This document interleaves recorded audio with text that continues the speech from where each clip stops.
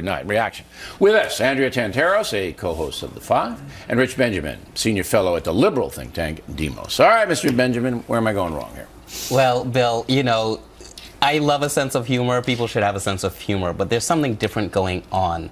We're in a different America, and I think a lot of conservative white people complain when minorities are giving valid pushback and that's to be expected. Like Sylvia, so what you're, what like you're calling I, was that valid pushback that I I can't recommend a restaurant and say it's pretty much the same as every restaurant, or I'm denigrating African Americans. That's now, pushback. Now, Bill, I don't know the other side of that story. There so not any other that. side. Of Look course at the there transcript. Is. There has to no, be. No, there's a there transcript on the internet there for seven years. A, but the the bigger point is is that what people are calling political correctness in most cases, not every case, but in most cases, is a valid pushback. Right. Do you ever sing YMCA? Did you ever sing that song?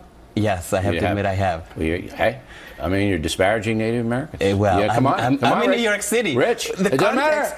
Bill, you sing the YMCA the context, because that guy dressed up. There's a village is, person. The context of YMCA yeah. in New York City is gay. In in North Dakota, are you disparaging it's, gays? It's, it's, Native Americans, and so not living as a Native American in North Dakota. Now, just give me this. Story. Just give me this. Just give me this.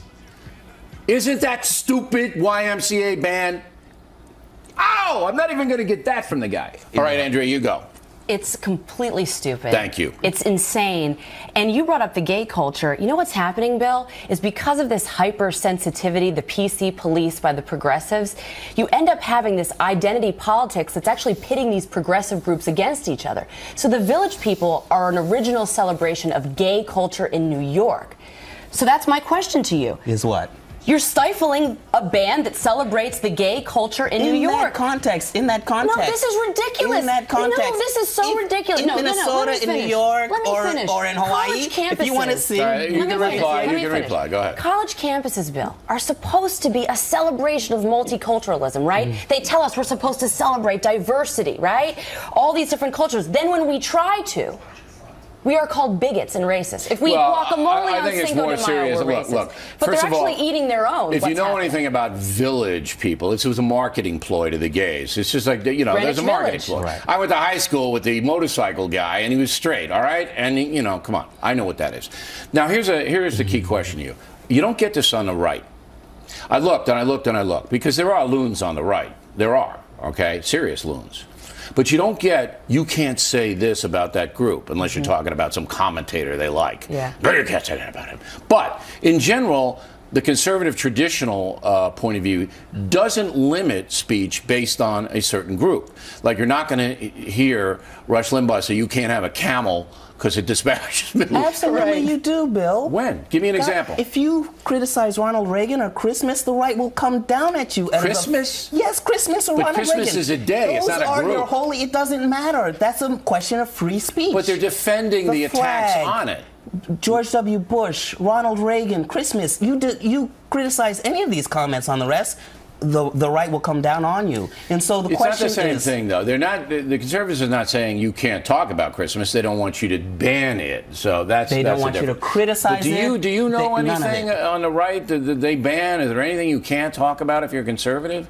The Klan, Nazis. No, we actually allow debate. We actually foster. See. I think that's right, though. There's, there's, Debate. It's, it's not a question of All- debate. all We of this foster PC the stuff No, you try coming and from the silence. left. No, no, I just want to know what the what are the rules. If you're if you're It's not a black, you can only criticize the black family. If you're a No, female, no, you can no, only no. criticize That's a female. It's, Because it's not that's about what I debate. get. It's not about debate. These kids in North Dakota were simply saying, with our taxpayer dollars, we don't care to celebrate the holiday this way. What Whether holiday? I agree or disagree What with holiday? it, not not the holiday. The, the They don't want to sing YMCA, at a So, concert because exactly because the guy dresses up like an Indian. That's insane. I'm not there. But the but the point is, it's not about It's criticizing the boy. It's always about.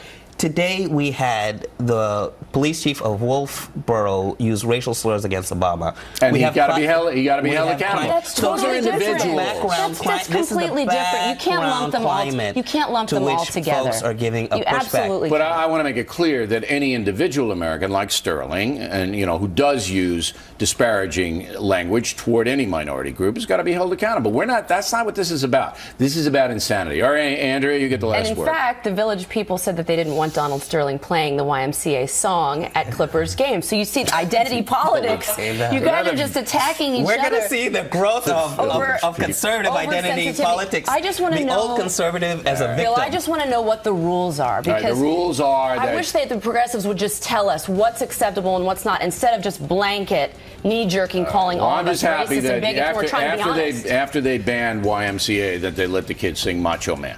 No, they didn't. They didn't. They can't mention anything about the village people. All right, thanks very much. We appreciate you, it. Bill. Next